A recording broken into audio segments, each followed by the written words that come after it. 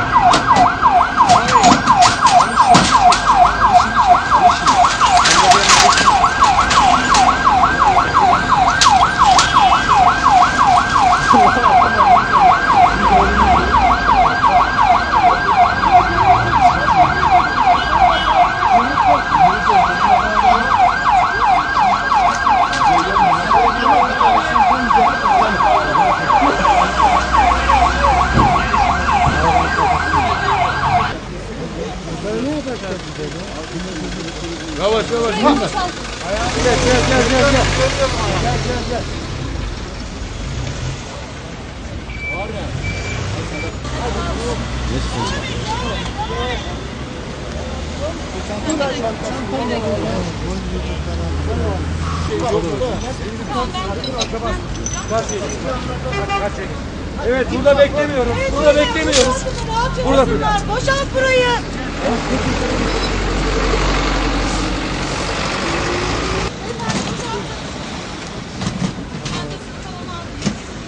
Yok burada. Erzurum'da meydana gelen trafik kazasında iki kişi yaralandı. Kuzey Çevre Yolu Nene Hatun Rampası Demiryolu Köprüsü mevkiinde Kadir Kılıç yönetimindeki 04 AO 004 plakalı kamyon, Aydın Akdemir idaresindeki 04 AC 022 plakalı ticari araçla çarpıştı. Kazada Aydın Akdemir ile yanında bulunan babası Cabbar Akdemir ağır yaralandı. Ambulansla Erzurum Bölge Eğitim ve Araştırma Hastanesi'ne kaldırılan yaralılardan Cabbar Akdemir'in sağlık durumunun ciddiyetini koruduğu öğrenildi.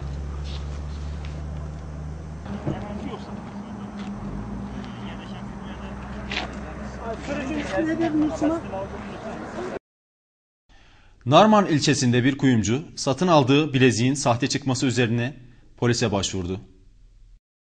İlçe merkezinde kuyumculuk yapan MK henüz kimliği belirlenmeyen kişiden Trabzon hasırı adı verilen bileziği satın aldı. Aldığı bileziği eritmek üzere Erzurum'a giden MK, bileziğin sahte olduğunun söylenmesi durumunu polise bildirdi. İş yerinin güvenlik kamerasından zanlının kimliğini belirleyen polis ekipleri olayla ilgili soruşturma başlattı.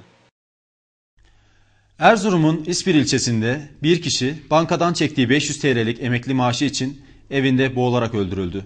Yakalanan katil zanlısı gözaltına alındı. Olay önceki gün İspir ilçesine bağlı Kırık köyünde meydana geldi. Edinilen bilgiye göre emekli maaşını çekmek için İspir ilçe merkezine giden Ahmet Yıldırım, bankadan para çektikten sonra köye döndü. Yıldırım'ın iki gün hiç dışarıya çıkmaması üzerine şüphelenen komşuları durumu jandarmaya bildirdi. Kapıyı kırarak içeri giren jandarma ekipleri Yıldırım'ın cansız bedeniyle karşılaştı. Olay yerine gelen savcının yaptığı incelemenin ardından ceset otopsi için Erzurum'a gönderildi. Yapılan otopside Ahmet Yıldırım'ın boğularak öldürüldüğü belirlendi.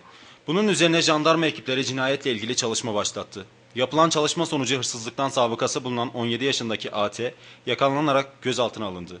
Zanlının Güneysu Karakolu'nda yapılan sorgusunda cinayeti itiraf ettiği iddia edildi. Zanlı AT'nin ifadesinde Ahmet Yıldırım'ı İspir ilçe merkezine kadar takip ettim. Bankada para çekti, köye döndü. Ben de onunla birlikte köye döndüm. Evinin anahtarını temin ettim. İçeri girdim, boğdum. 500 TL ve bir adet bileziği alarak evden ayrıldım. Anahtarı da sonra attım dediği ileri sürüldü. Zanlı bugün adliyeye sevk edilirken attığı anahtar ve 500 TL ile bir adet bilezik jandarma ekipleri tarafından bulundu. Pasinler ilçesinde bir kamyonette 1350 kilogram sahte deterjan ele geçirildi. Pasinler İlçe Emniyet Müdürlüğü Asayiş Büro Amirliği ekipleri ilçe girişinde yaptıkları yol uygulamasında durumundan şüphelendikleri bir kamyoneti durdurdu. Ekipler kamyonette yaptıkları aramada 500'er gramlık 2700 bidon içerisinde toplam 1350 kilogram sahte sıvı deterjan ele geçirdi. Yapılan laboratuvar analizinde sahte olduğu belirlenen deterjanlar piyasaya sürmeye çalıştıkları iddiasıyla FU ve HK adlı kişiler gözaltına alındı. Erzurum Vefa Derneği tarafından kermes düzenlendi. Erzurum'da Vefa Derneği'nce geleneksel olarak düzenlenen öğrencilere ve ihtiyaç sahibi ailelere yardım amaçlı kermes kuruldu. Kermesin açılışını Vali Sebahattin Öztürk'ün eşi Nahan Öztürk yaptı. Hayır amaçlı düzenlenen kermese vatandaşların ilgisi yoğun oldu.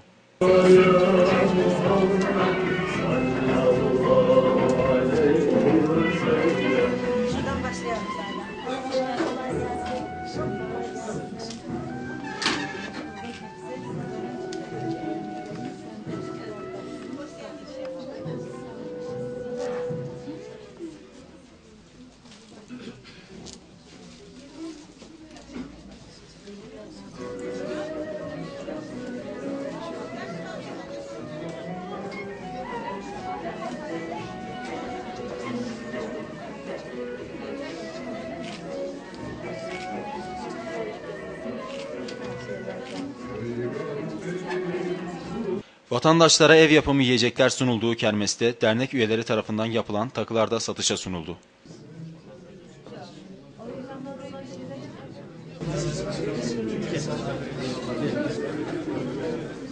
Vefa Derneği Başkanı Yusuf Yaşar Babur yaptığı açıklamada yılda iki kez düzenli olarak kermes kurduklarını ve amaçlarının fakir insanların yaşam kalitesini yükseltmek olduğunu belirtti. Erzurum Vefa Derneği olarak eee, Erzurum merkezde hizmet vermekte.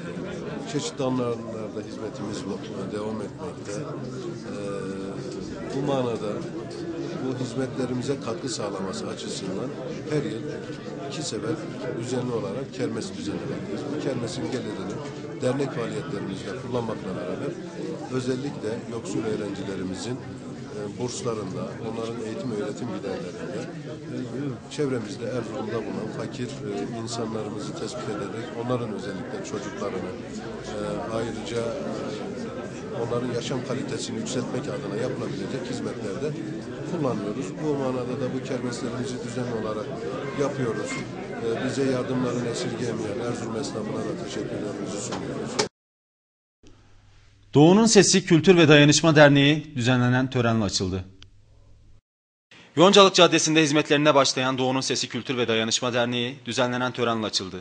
Açılışa Büyükşehir Belediye Başkanı Ahmet Küçükler, Yakutiye İlçesi Kaymakamı Ahmet Katırcı ve birçok vatandaş katıldı. Benim anam, benim anam analardan başını şehit vermiş, şehit vermiş iki gözü yaş idi.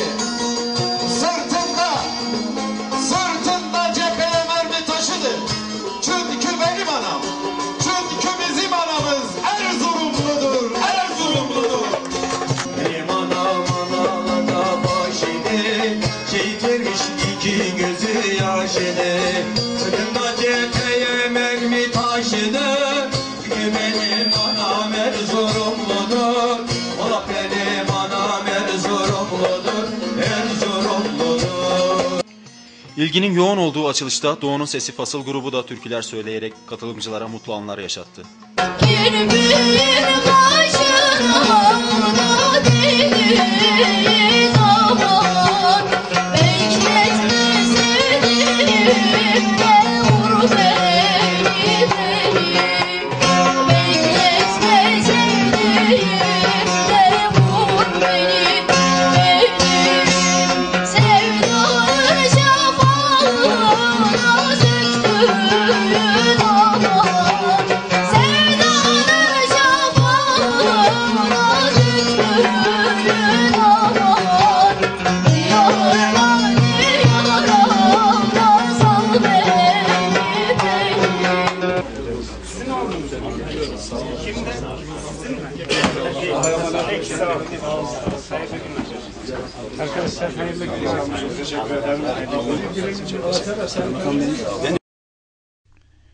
Tüm Sanayici ve İş Adamları Derneği ve İşkur Ortaklığı İl Özel İdaresi'nde yapılan fuar bugün sona erdi.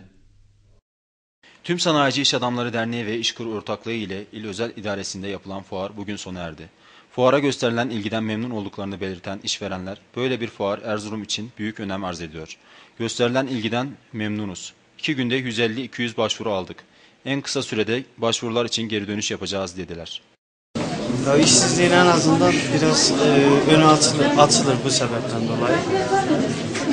Erzurum açısından da çok iyi bir şey. Her yıl yapılması gerekiyor. Bizim gibi üniversite gençlerinin en azından önü açılması lazım. en azından Erzurum gençliğinin dışarılara gitmesini önleyebilir. Bu sergide yani emeği geçen herkese çok sağ olsun. Böyle şeyler şehrimizde olması daha iyi yani. Gençlik hep dışarıya doğru gitmeye başladı yani. Görüyoruz biz arkadaşımız kimse kalmamış. Bu, bu şekilde hem ilişkilerimiz açısından hem iş dünyası açısından bizim için daha faydalı olacağını düşünüyorum. personel alımında, personel arayışı içerisinde e, daha faydalı olacaktır.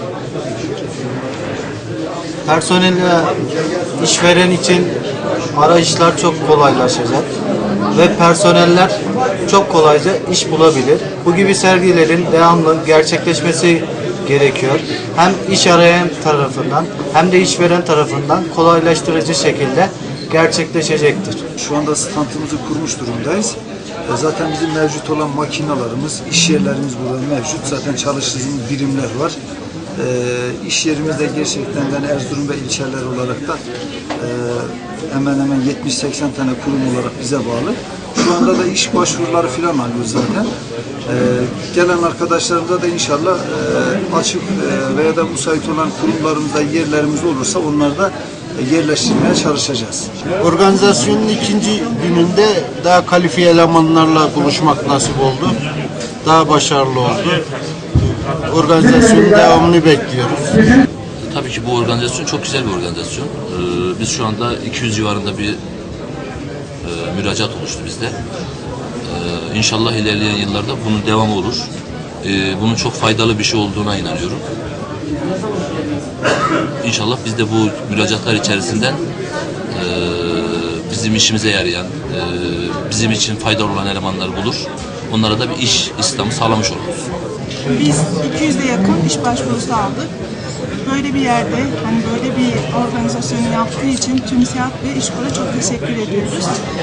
Ee, büyük bir hani kuruluşuz zaten, şubelerimiz var ama burada da yine bizim için çok büyük katkısı oluyor. Tanıtım açısından böyle büyük firmaların bir araya gelmesi ve birbirimizi tanımamız açısından çok iyi bir etkinlikti. Dün ve bugün dahil yaklaşık 170'i buldu şu an.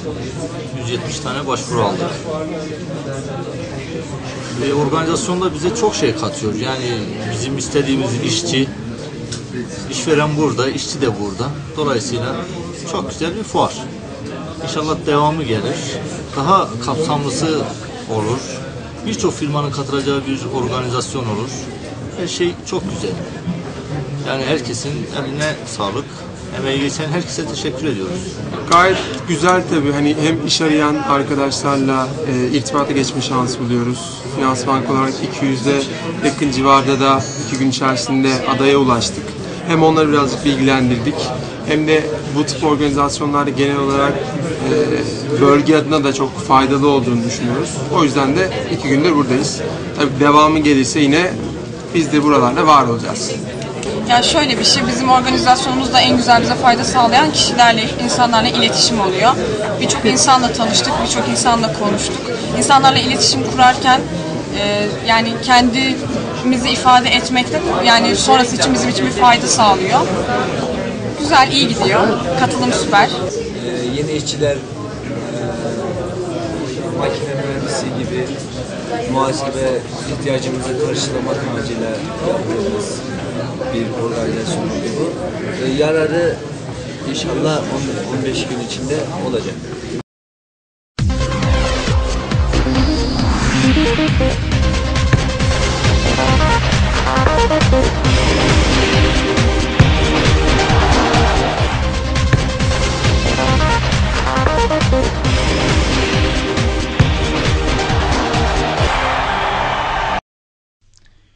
Türkiye Buz Hokeyi Büyük Erkekler Süper Ligi'nde mücadele eden Erzurum Gençlik Spor, yarın ilk maçına Ankara'da çıkacak. Buz Hokeyi Büyük Erkekler Süper Ligi'nde geçtiğimiz sezon playoff oynayan ve Türkiye'nin ilk 4 takımı içerisinde yer alan Erzurum Gençlik Spor bu sezonda oldukça iddialı. Erzurum ekibi Süper Lig'de ilk maçına yarın çıkacak. 2012-2013 sezonunda ilk haftayı bay geçen Mavi Beyazlı Hokeyciler yarın deplasmanda ligin ikinci haftasında Ankara Truva Spor Kulübü ile karşı karşıya gelecek. Erzurum temsilcisi pazar günü de geçen sezon şampiyonu Ankara Büyükşehir Belediyespor ile mücadele edecek. Erzurum Gençlik Spor iki maça da mutlak galibiyet parolası ile çıkacak. Kanal 25 haber merkezimizce hazırlanmış haberlerin sonuna geldik. Esenlikle kalın.